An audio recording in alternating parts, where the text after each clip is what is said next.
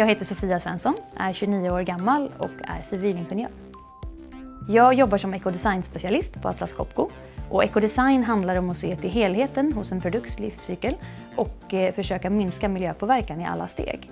Och det betyder att jag sitter med i utvecklingsprojekt och gör miljögranskningar där vi ser till att produkter följer aktuell miljölagstiftning, att det inte finns några farliga ämnen i produkter och att de är så energieffektiva som möjligt.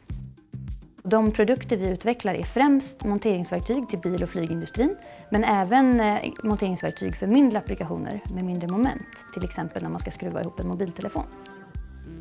Jag har läst till civilingenjör på KTH, design och produktframtagning med inriktning mot hållbar utveckling och integrerad produktutveckling.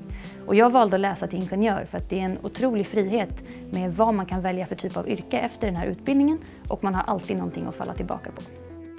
En vanlig dag på jobbet kan vara allt ifrån att jag gör en miljögranskning i ett utvecklingsprojekt eller att jag träffar våra italienska kollegor och föreläser om ekodesign hos deras eh, arbetsplats. Under förra året och det här året så har jag fått ta del av ett Emerging Talents-program på Atlas Copco som heter Challenger.